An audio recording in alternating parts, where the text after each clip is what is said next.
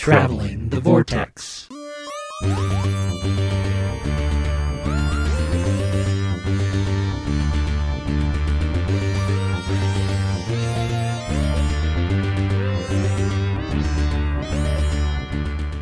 We've joined the Doctor's companions and they escape a madman's prison called episode 514.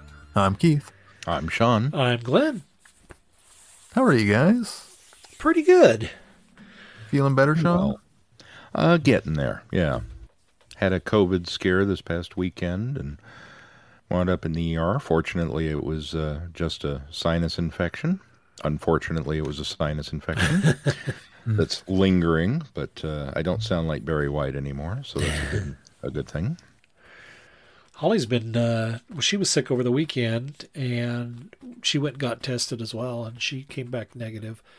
Um, but she's just, she's got all kinds of just congestion in her head. She's been sneezing and coughing and so she's probably got the same thing, just a sinus infection and run a good old run of the mill cold. It hit me all of a sudden. I, I, I just within a matter of like two hours, I went downhill from feeling fine to I was doing the checklist, going, "Oh no, oh no, oh no, no, no," and I, I thought for sure I was going to lose my gold star for the pandemic. I just I, like, all all the hard work that I'd put in on avoiding this stupid thing, and uh, I, I just knew it. But um, all the tests came back negative, and I was like, "Okay, whew, dodged a bullet This time. this This time time. so far." Did you guys watch anything or read anything or do anything in the last couple weeks? Mel and I went out and uh, caught a matinee showing of Moonfall, Oh, the I've- new Roland Emmerich disaster flick. And I heard it's a disaster. It is so much a disaster and so much fun. Oh, is it? Did you have fun? It, we did, and, and I'm, I'm gonna I'm gonna preface this by saying there is not a lick of science in this.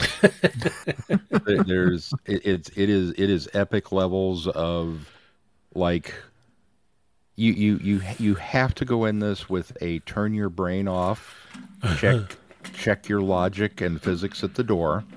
Do not bring them into the theater because there's there's no place for those in in this movie. There's just just just don't. No, we're not, we're not doing that here. Uh, and if you can if you can do that, I mean, if if you if you're bringing Neil deGrasse Tyson with you to the to the theater, you are not going to have a good time. I can just I can assure you of that.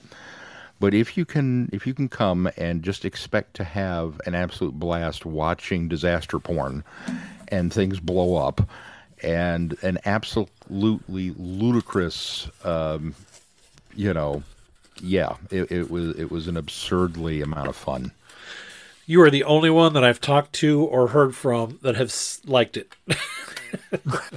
I, I will hmm. freely admit, I, I it's, it's it is it is one of those simple minds, simple pleasures, and it, it, it pushed that button for me. Yeah. But I'll also admit that that Roland Emmerich he he has a he has a niche, and the man is is nefarious when it comes to, you know, what are you going to do today, Roland? The same thing I do every day. I'm going to blow stuff up, and it, it just kind of like, yeah, I'm all right with that. And you look at the track record; it's it's not you know it's not on the scale of Independence Day. It's probably closer to Independence Day Resurgence, but uh, you know I'm okay with that. It's it's just he, he he knows what I like, and I like to see things blow up in ridiculous fashion. And so I I had a good time. Patrick Wilson was fun, and uh, things blew up. I just I can't reiterate that enough. Things blew up, and I was happy. So Well, I kind of feel bad for him because the, I think I saw the budget was uh, 138 million dollars, and it made 10 million dollars this weekend. yeah, I think they spent more than the film's budget on advertising for it. And uh, I hadn't yeah, even seen- not I- doing well. I didn't see, I hadn't seen any ads, I hadn't seen any advertising, I hadn't seen any trailers, and then um, I was listening to a podcast and they were talking about it, and I thought, what is this? And so I, I got to looking and started reading the reviews and stuff. And then a couple of guys at work had gone and saw it. And they absolutely they said it was just trash. It's not. They said it's not even worth it. So I'm, I'm glad to hear that you liked it. It it, it, is- it is Thirty-nine percent on Rotten Tomatoes. yeah it is- 39?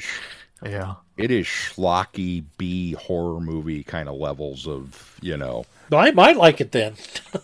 yeah it's Just the it, title alone is It- it- Oh, I know, right? Moonfall, you know, just uh, and it it hits all the tropes. It's got uh, it, there there are no characters. It, it, it's just it's got tropes. You know, the the troubled son with the heart of gold, and the the astronaut who was banned from doing things because they threw the book at him for something that wasn't his fault, and the yeah, it's got all of that in it. It's just I ate it up. It's- more. Give me more. And then the hook at the end for a possible sequel that's never going to happen. I was like yeah give me more of this. Put it in my eye holes. I want more of this. We Looks were like the only we were the with, uh, only two in the 2012. theater. We we were the only two in the theater so it was yeah. Keith, what'd you say? It looks like it's tied for uh, with 2012 in his rankings of movies. Ah, So if you enjoyed 2012, it's probably on the same par for you. Although the audience score is higher. yeah i think i enjoyed this one more than 2012 Keith, did you? He oh, doesn't really he doesn't really get certified fresh movies anyways. yeah, No. not lately. No, not, since ever. Not since independence day Not not even Independence Day is certified fresh. According Is it Rotten really? Tomatoes. I would've Yeah. thought Well, I get. is. I guess that's true. It's. I mean, it takes a lot. Sixty-eight percent. As I say, it takes a lot to get those. So. Keith, did you do? Or uh, Sean, did you do anything else? Um, no, not really. That was kind of the highlight of the. Keith, what about you? That was about it. We watched Encanto. Ooh, what'd you Oh, think? What did you think? I thoroughly enjoyed it. It was a lot of fun. I can't Kids remember. Didn't really pay that close of attention to it until the music came on, and uh, it's all the music she wants to listen to. Oh, is that right? Yeah. I, I can't remember. Did we talk about this or not? Because we watched it a few weeks back, but I couldn't remember if I talked about it. I, I enjoyed it. I thought it was a good movie, but I, I I don't think it was all the all that that everybody's making it out to be. No, it's it's. I think I feel like it's on par with the recent run. I haven't still haven't seen Raya and the Last Dragon, but I think it was not quite as good as Moana. Yeah, But agreed. everything else is just kind of on par with. Yeah, agreed. I think uh, yeah. I, I, in fact, I think I liked even the last um, what Frozen two uh, better than this. So I think it's one of those that it, it's subtle in in a lot of ways, and because of the family dynamic that it's got going on, I think it's one of those that ten years down the line we're still going to be talking about Encanto, and I think it's one that's going to be taught.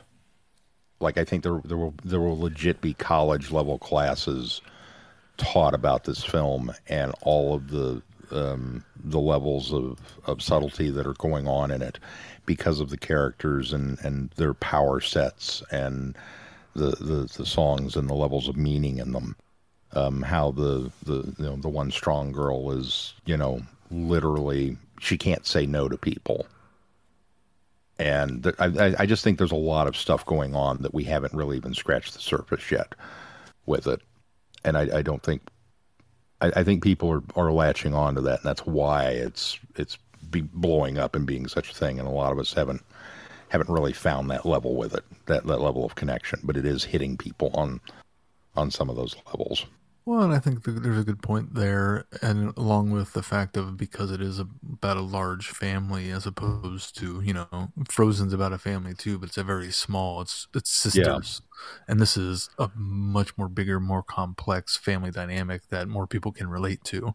I think as far as that goes, I did notice that the music, um, you can definitely hear it now after, especially after watching Tick Tick Boom you can really see Jonathan Larson's influence on Lin Manuel Miranda and on how he writes his music and lyrics. yeah, hmm yeah. But we don't talk about Bruno. Yes, we've been hearing that song a lot. that and Surface Pressure, the Luisa's song. Yeah, Yeah. Sarah didn't like it as much as I did. Anything What else? about you, Glenn? Well, That's it for me. I played. I see. I, my last two weeks was catching up to you guys. Um, I I watched uh, all six episodes of Book of Boba Fett, or Oh, or yeah. or Mandalorian season two point five. I'm Um, still two behind. The Book of Boba Fett, guest starring Boba Fett. yeah, exactly. Uh, it's it's How many behind are you, Sean? I am too. We will catch Oh. up tomorrow. Two. I don't know. Oh, yeah, I'm surely you've been spoiled though on stuff because I, I couldn't Uh, even, I couldn't even I believe so. At this I point. couldn't even avoid it. It was just it was. Uh, in fact, that was part of the reason I decided to go ahead and launch in, and because I just kept I, I couldn't avoid spoilers for this thing, and I thought, okay, well, I better catch up. So at least I'm on the same page with everybody. Um, but I'm thoroughly enjoying it. It's a blast. Um, I just I I'm one of those people, and I know people have kind of grumbled about it during this uh, um, uh, series, although not so much because they're doing a good job and it has the heart of Star Wars.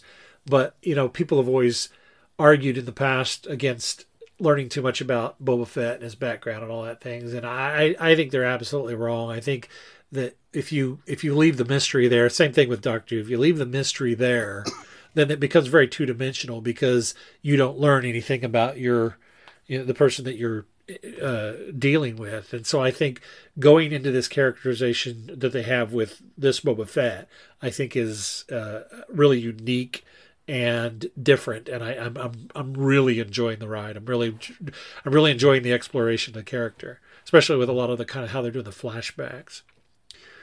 Uh, It does feel a little bit like um, I, keep, I keep expecting to have uh, Jeff Goldblum come in. Now you do uh, you do plan on having some Boba Fett uh, in your in your Boba Fett show?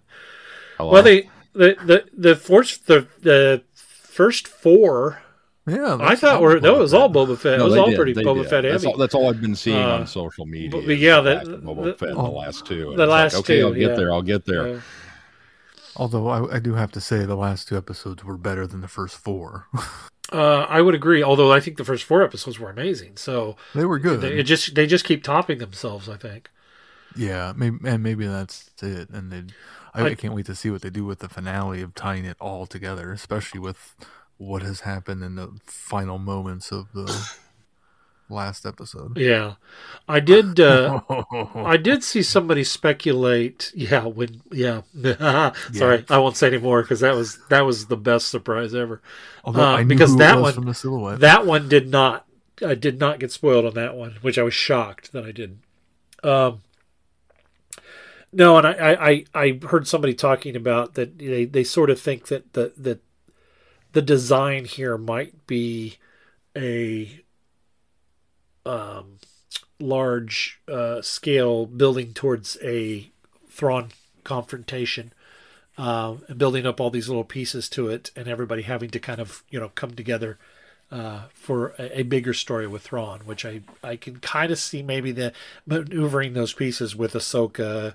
Uh, because the Ahsoka film's coming out, obviously they're, they you know the Obi Wan uh, series won't have anything, and and the uh, oh who's the guy from Rogue One and and uh, Andor. Andor. The Andor one won't obviously because they're uh, pieces set in the past. But yeah, I really wonder if they're kind of maneuvering things for a a more uh, crossover uh, epic event uh, down the road. An Yeah, Avengers style crossover. Yeah, something like that. It that. definitely does. It definitely does seem like that. At the very least, it's setting a lot of pieces in place for the Mandalorian season three, so they don't have to spend as much time catching everybody up. Yeah, yeah. Um, so I did that, and then uh, we watched Tick Tick Boom. Uh, really, really enjoyed that. Uh, I had no idea. In fact, I didn't even know Tick Tick Boom had until you had, you know, obviously had said it uh, last time we talked. But I didn't realize that that was a stage play that he had done before, uh, as well that that they were adapting. So that was that was a neat surprise. Um, the music is terrific. Andrew Garfield does an amazing job, and thoroughly, thoroughly enjoyed it. And then the third thing I did was I basically mainlined Get Back on Disney Channel uh, because I thought, okay, I'm going to sit down and do this in little doses, you know, do a, a, an episode and then come back and, and I and I knew that was I knew I should have just known that I was going to sit down and get so sucked into it and I did and the the biggest thing I take away from it is I am so infuriated on how much Let It Be set a narrative for the for that era and that time of the Beatles that is completely falsified and wrong. They, there was not the strife during that during those sessions that It's amazing. that it? yeah that that that let it be painted that picture and and really kind of drove the entire uh, story of of the breakup from there on. Now, granted, this doesn't go up to the breakup, and I really do believe that uh, the last uh, straw was Lennon hiring. Um, uh, what's the guy without consulting everybody? The the they mentioned the guy's name in it. Oh, the Rolling Stones. Yes, guy. yeah. They, but hiring him, I think that was one of the that I think that certainly led to it.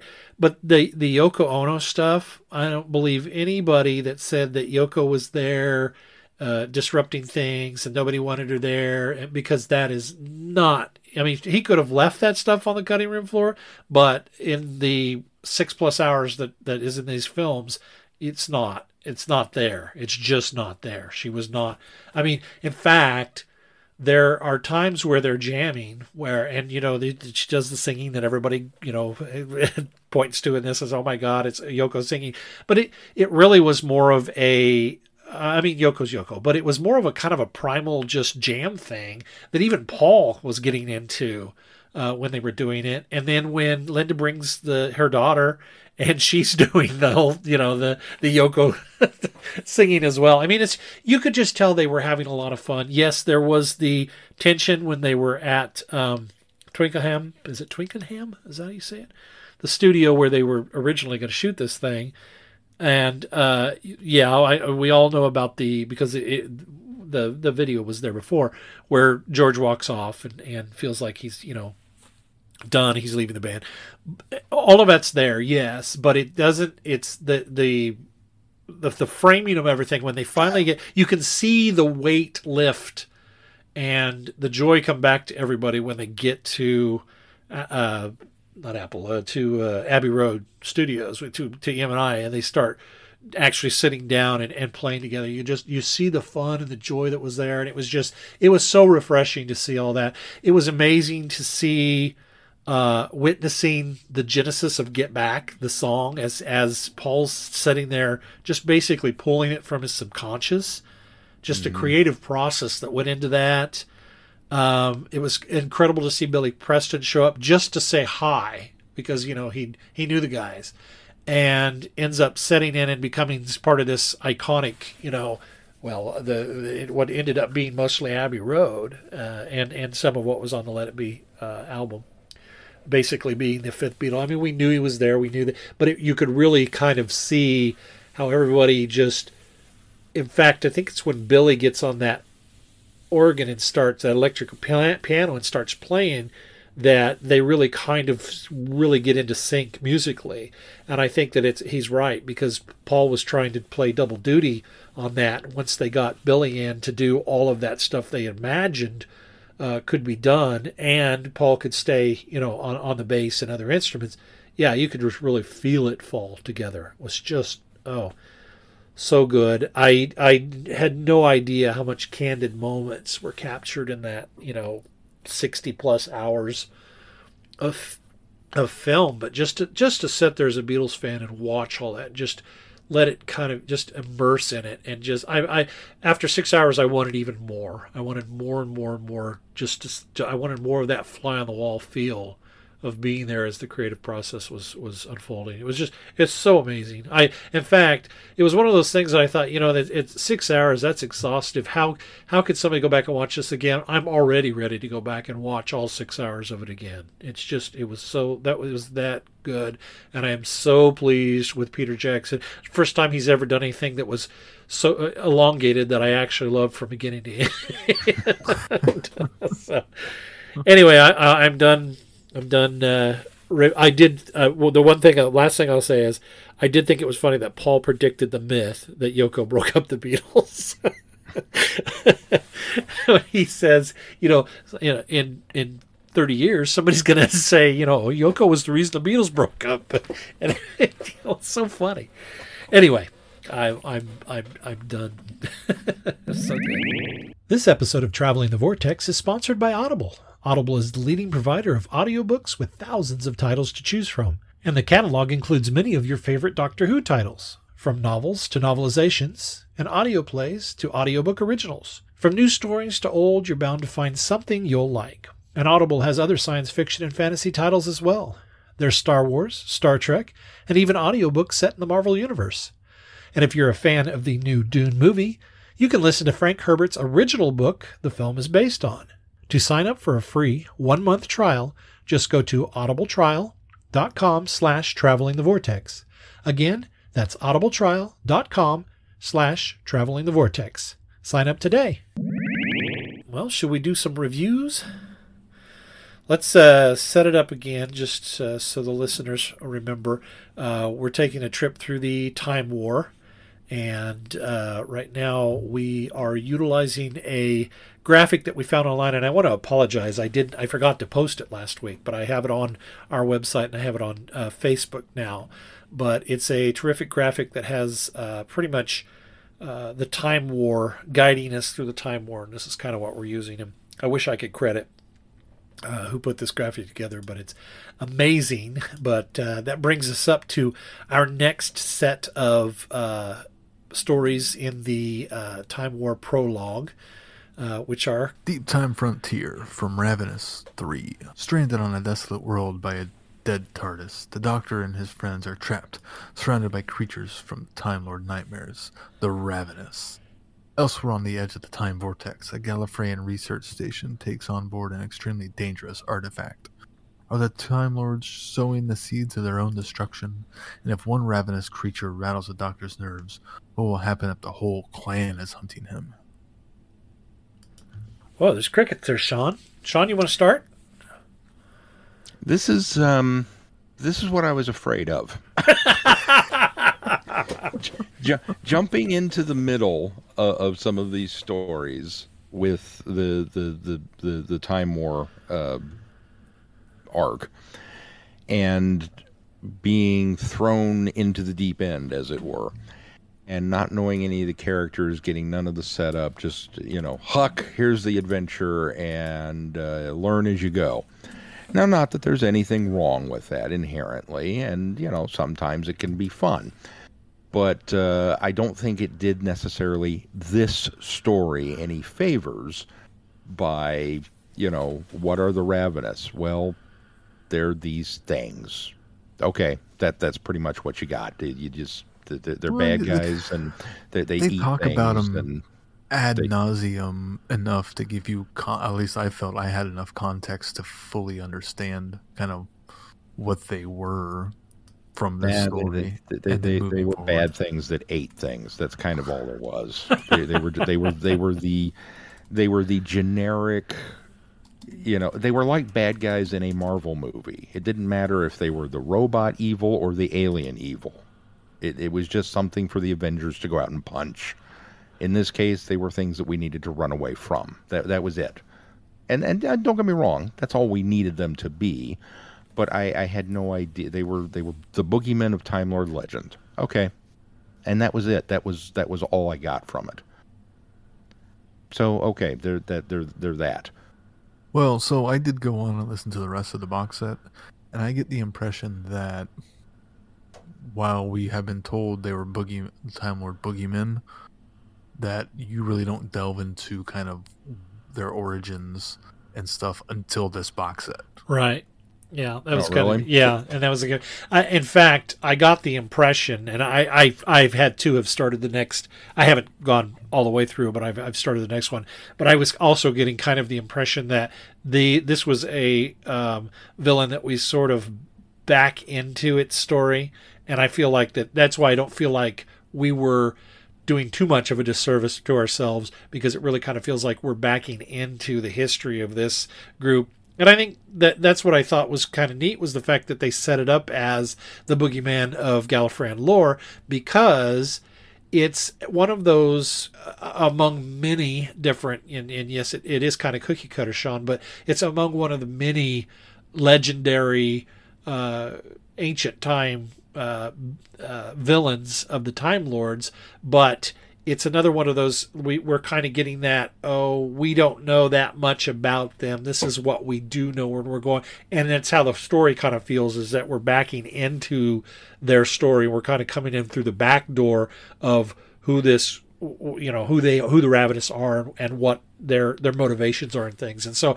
i thought that was kind of neat the, the way that it was set up. And i kind of felt like that we were maybe being groomed into that kind of thing for further stories uh, as we listen to more of this. Of course, now we won't be do- doing any more of this one, this one for a while, but uh, I think eventually we we are going to come back to it and learn a lot more. And I think it'll give the the what feels like maybe a two dimensional uh, Doctor Who villain. I think it'll give it maybe a little more meat.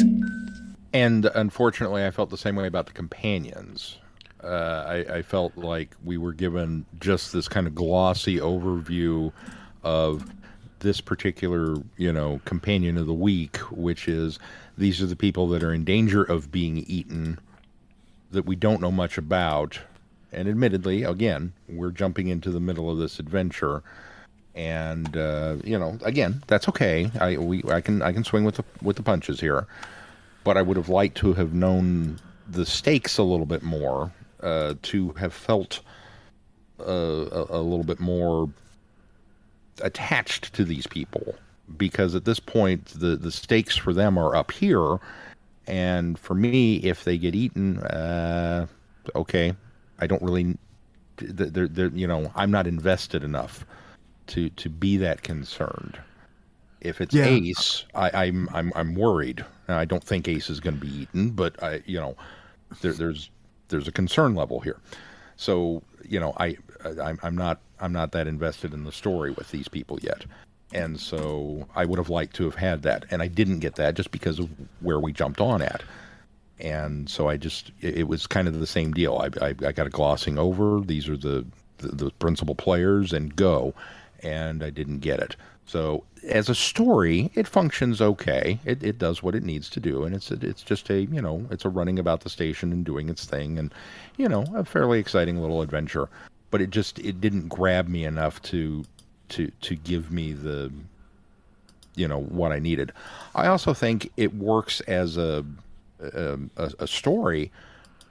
I didn't really feel like it had anything to do with the time war, at least where it's at now. Now, again, I reserve rights to change all of this based on when we come back around to A, listening to the rest of the Ravenous stuff, and where it's going to fit in with that segment, and B, where we fit in with the rest of the Time War stories, and go, ah, okay, this is where this is going to go. I mean, it's it's just a story at this point, so I kind of feel like I don't know that I can really review it beyond the story was okay.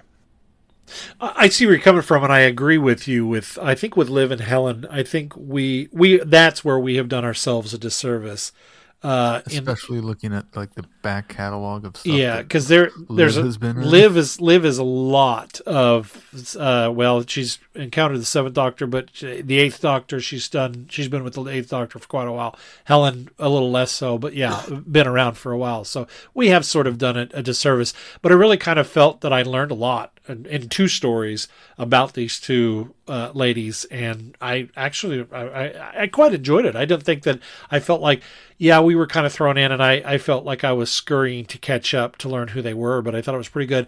Uh, to address your concern about I don't know how this is connected to the time war to the time war.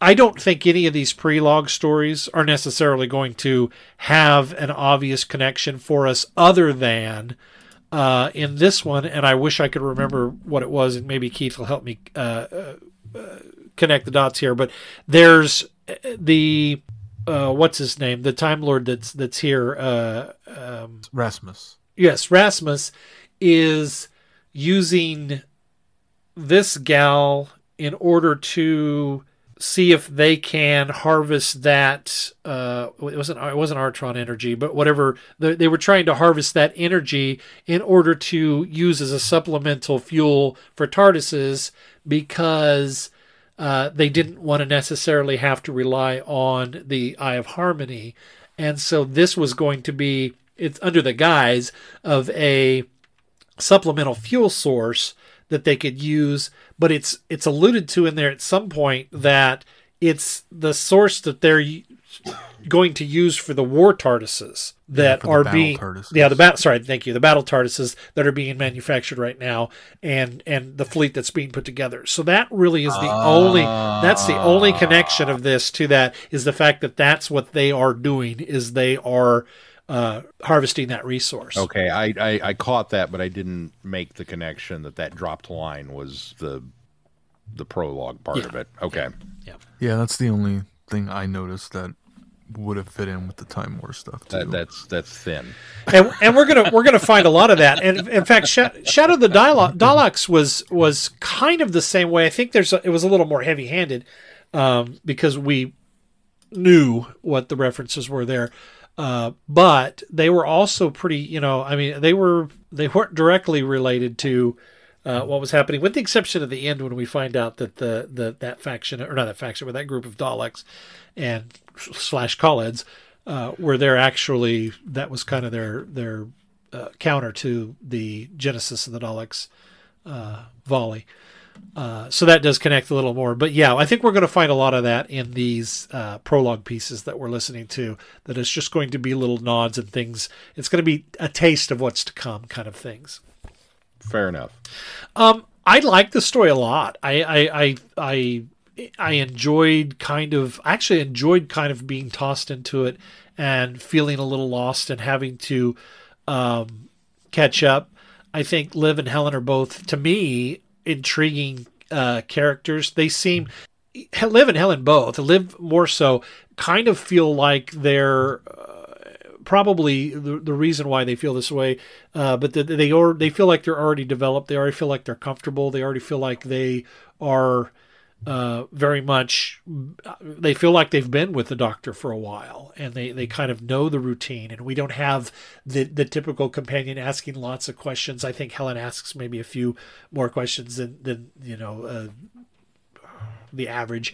Uh, but it, you just I kind of feel like they, they really have their they already have their station, and I think that, that I like that. I like uh, companions that are kind of already uh, not they're not themselves not playing catch up either, and so that that was cool. I liked that about them. Um, I like the intrigue of the Ravenous. I want to know where we're going with that. I want to learn more about the Ravenous. Um, and uh, oh, we just said his name, Braxel. Braxel. I think he was an intriguing uh, character. It's a little refreshing to get a Time Lord that isn't necessarily, at least yet, necessarily working against the Doctor. Um, he was, but indirectly and, and, and unintentionally at first was working against the, the what the you know the the, the greater good, uh, but unintentionally it doesn't really know that, that it's happening. And so it was refreshing to to find a or listen to or hear a Time Lord that wasn't butting heads with the Doctor the whole time or had nefarious plans or you know things like that. So I liked that about it as well. I agree. I kind of kept almost waiting for that Yeah. shoe to drop, and Agreed. then it didn't. And it was like, oh, cool. Agreed. and then the fact that he also makes amends with um with Visteron, Yep. you know, with how he resolves things. Oh, he's going to take her back to Earth and set things right, and maybe spend a little time there himself. That that even more redeemed him with what he had done throughout the story. There was the uh, nice surprise that the Doctor uh, thought that this was uh, one person, and it turns out that this is actually the daughter of the person he thought it was, or the granddaughter. Yeah, daughter, granddaughter, was daughter. uh, the, the mother of the mother. person. Oh, it was mother. Yeah, you're right. It was the mother of the person that. So it, it's sort of, and in fact, that's the the timey wiminess of it is she she ends up like the, in history. This gal actually disappeared, right? Yeah, Yeah. Yeah. So I kind of wonder if maybe there's a hint to something that's happening, or maybe her and uh, uh, Rasmus end, or uh, yeah, Rasmus ends up. You know, maybe that's why she disappears because uh, of, of events that, that are that are forthcoming from that. I don't know. Well, I got the impression that he, Rasmus was like, "Let's go rewrite time." Yeah, even yeah. What the heck? Let's rewrite time. That's right. That's something right. along those lines. So I get the, got the impression that while it's not something we knew about previously or would hear about again, it was something that had happened and the Doctor was aware of, and now that because of this event, time has changed. It's changed. of that. Okay. Okay. Yeah. All right. That makes sense. And I like the fact that, you know, the Time Lord also wasn't trying to bring the Ravenous out; that it was an accident. Yeah. And I, I think that's a nice, nice added layer of uh, intrigue to it. Of oh, this is what's happened, and nobody realized where they had been this whole time, and now they're out. Um, adds a nice l- level to it.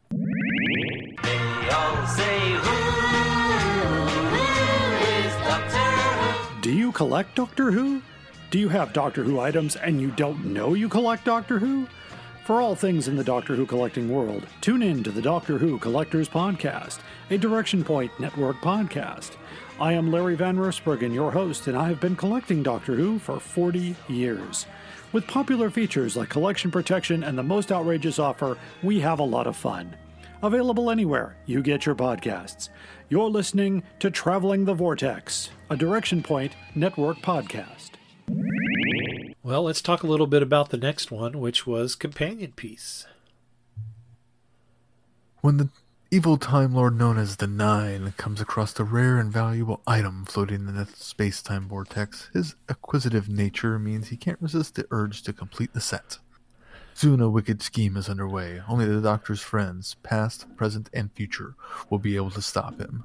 But without the Doctor around, will even the combined skills of Liv, Helen, River Song, Bliss, and Charlie be enough to save the day?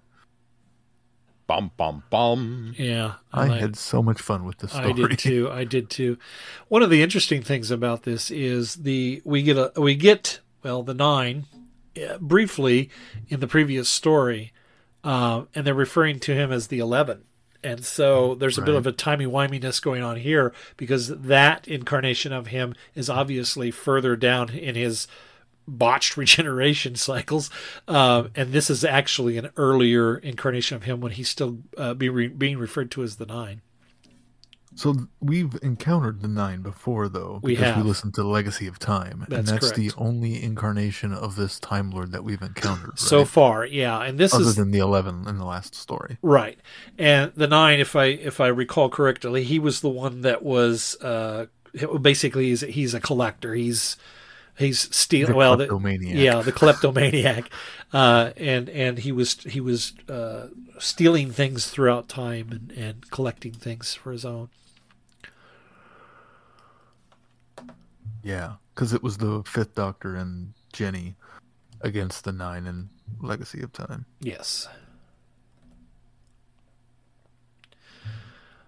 I like the I, I like river in this story, and the reason I it, it, it's interesting to get to that point because River in this one doesn't really feel like she's doing much. She feels like she's being, I mean, as she is, she's she's been captured, um, she's being uh, tortured in order to get information so that he can go collect all these different companions that he's going through and collecting, and it's you you're kind of let in on it, or you kind of suspect that River's kind of putting him in, in situations because she's she's basically collecting the necessity that she needs on the on this uh were they on a space station or were they on a TARDIS? I don't remember where, he, where they were. They were on a, they were on a space station. Okay, that's what I thought. Uh, and so she's actually putting the pieces in place in order to thwart him. But that doesn't really come across at first, but they build on that. And I like the fact that it's it's very much revealed that that's been Rivers' uh, intentions the whole time is to put the pieces in place so that they can escape from this. And by picking and choosing, and her, because of her knowledge of of the Doctor's companions, picking and choosing the right ones in order to put them in place. You know, uh, Charlie being the anomaly in time. Um, I think Liv and Helen because of the the well, one of their uh, um, oh genius uh, Bliss, which if if you feel really lost about Bliss, don't because we're going to get actually. That was the other thing that I thought was neat was the fact that she picks Bliss and she has Bliss go get nine at a time before he she's met the doctor, and so that kind of puts him on the on his back footing, and it kind of from our perspective of the way we're doing this, we're going. Bliss would have already been introduced to us if we had been listening to the Eighth Doctor audios in the way I think that I think his Time War stuff came out before. No, Ravenous came out. Of, so anyway, let's put it this way: we're going to eventually encounter the first uh, the introduction of Bliss down the road here as well. So I thought that was kind of a neat way to give us a companion that wasn't quite yet a companion of the Doctor, who doesn't know she's going to be a companion of the Doctor. So the her first appearance did come out before this Okay, one did. okay, that's what So, I thought I'd read yeah. that, but I wasn't sure. But if you're reading in chronological, or if you're listening in chronological order for the Eighth Doctor, you wouldn't know who this person is yet, Right, obviously, since we don't. correct.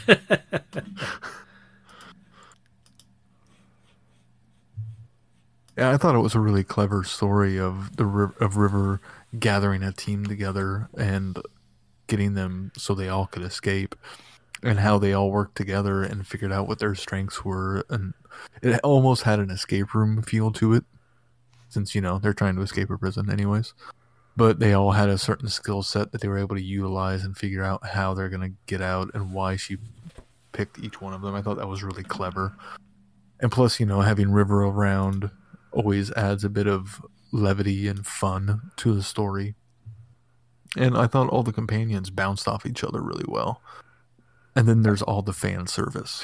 yeah, So much That- fan service. That was something I went back and forth on as I kept arguing with myself. It was, you know, oh, when's the doctor going to show up and save them? And then it was, no, dude, they don't need the doctor. These are capable individuals. They can do it on their own. right. How are they going to save themselves? That's the question. I can't wait to see how this transpires. And then they got into it, and it was this amazing, you know, trick of events that allowed them to, you know, and then Rivers, you know, setting them all up to form this team, and how are they going to do it? And how that, you know, played off of each other and and and put this together and that they figured it out. And it, it just was this amazing you know oceans 11 style.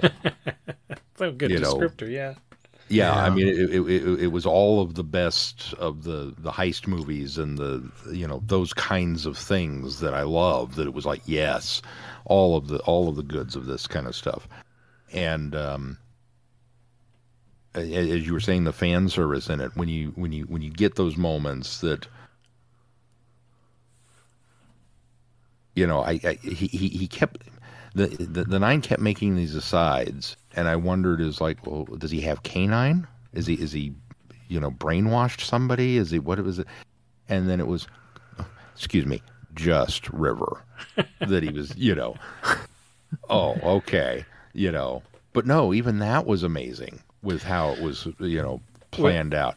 And when she turns the tables on him and sends him to a younger version of herself. Right, right. He's like oh man.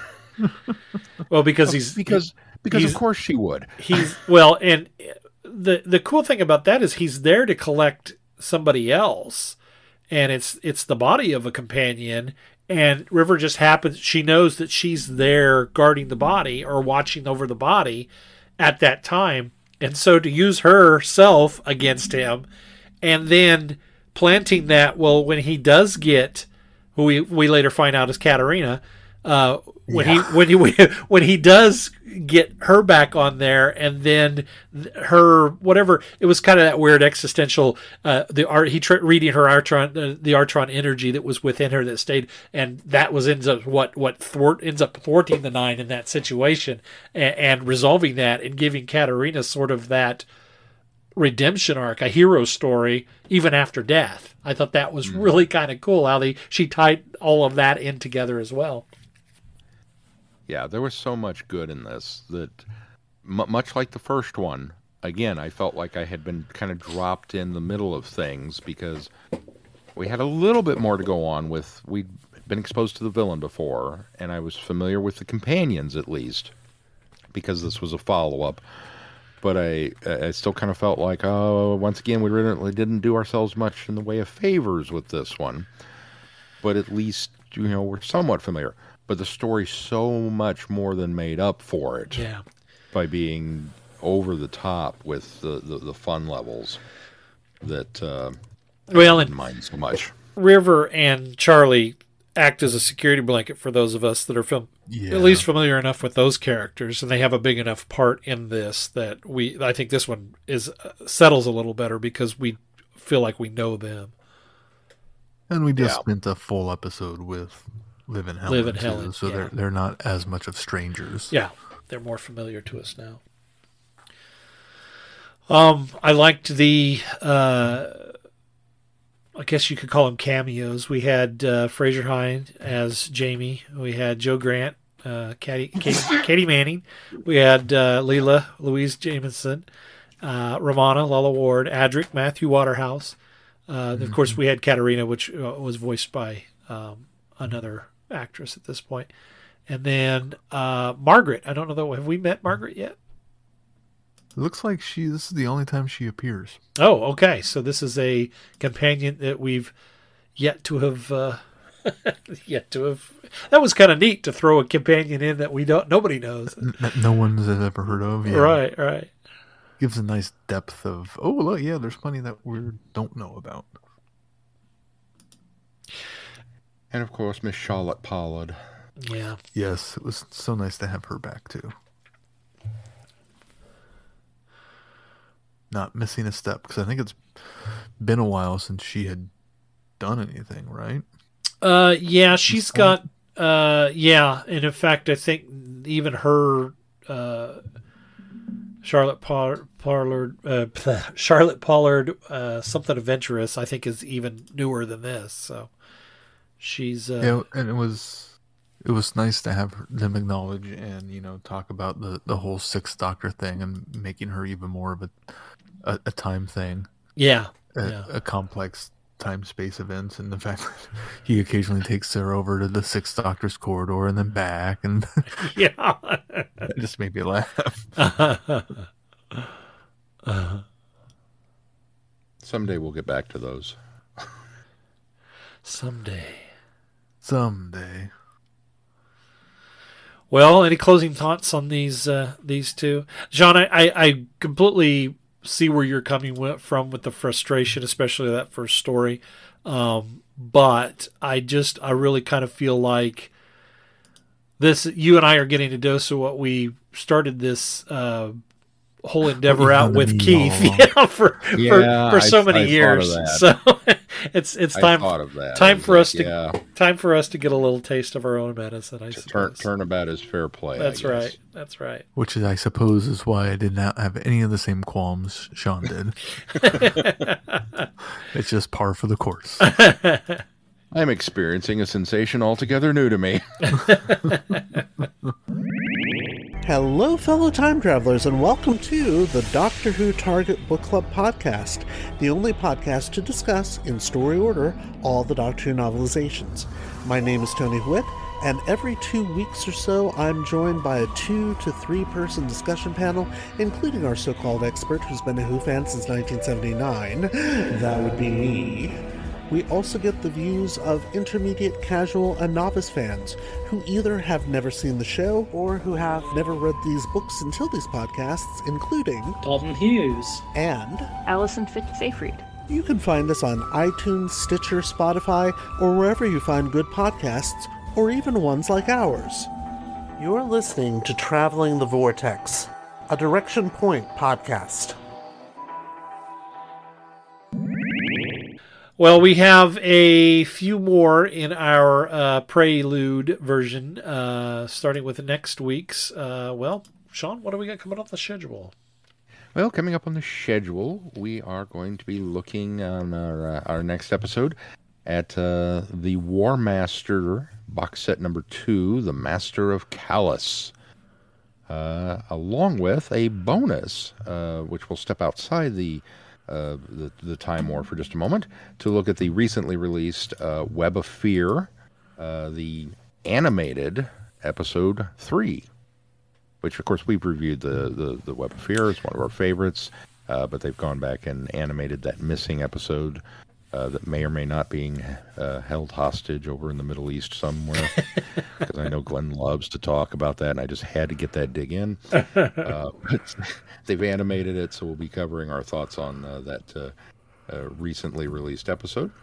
And then uh, we dip over into the uh, Gallifrey time uh, with uh, the look at uh, the Time War with a couple of stories from that set.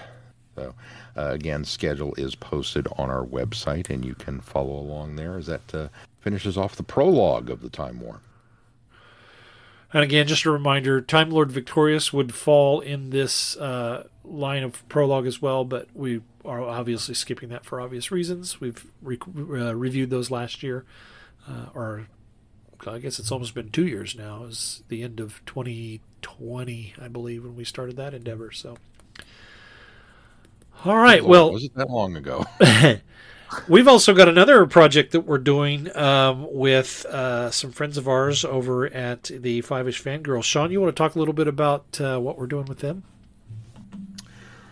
well, it's a fun little adventure that we like to call the Oscars. Sound like you were channeling um, John Wayne there, for, Yeah, it really did. didn't it? well, little lady. Um, it's the Pod versus Pod um, Oscar. What, what, what are we calling this? Pod versus Pod Oscars competition. Pod versus Pod Oscars competition. Thank you. Um, uh, as, as some of you may or may not know, uh, I uh, host Plix with Friends, uh, which is a, a movie podcast, uh, and then uh, uh, the five-ish uh, fangirls, uh, specifically um Rachel, uh, is uh, very very good friends with uh, Nick, who runs the uh, Gold Standard podcast, uh, where they have been going back and uh, covering all of the uh, Oscar winners throughout history. And I've been uh, fortunate enough to be a uh, guest on that one as well. And so all of the uh, uh, uh, guests and et cetera on that show are teaming up, and we're going head to head, forming teams to guess the Oscar winners. Which, by the way, uh, well, it will be already announced by the time you listen to this. But for us, it is the Oscars uh, nominees are being announced tomorrow. And so we will uh, be forming teams, and it is the guys here at Traveling the Vortex, along with Nick and uh, who's our other teammate? Charles? Is that his name? I've not met Charles yet, uh, but I believe his name is Charles. And uh, against uh, the ladies over at the Five Ish Fangirls. And uh, we will be uh, making our own predictions for the Oscars and then putting forth a team guess and putting those forth and going head to head. And the winners, as far as who gets the most number of guesses correct, once the Oscars are broadcast at the uh, tail end of March, uh, gets to make the other team watch a terrible movie of their choice, which will be a, a lot of fun, and we'll have to discuss uh, what uh, terrible movie we plan to unleash upon the, the ladies should we win. And I will be counting on you guys to make that happen. So,